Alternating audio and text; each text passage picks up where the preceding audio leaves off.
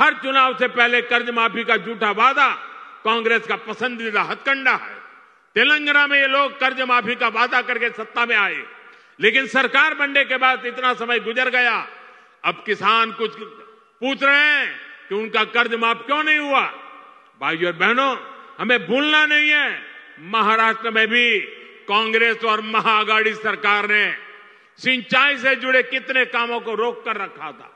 जब एनडीए सरकार आई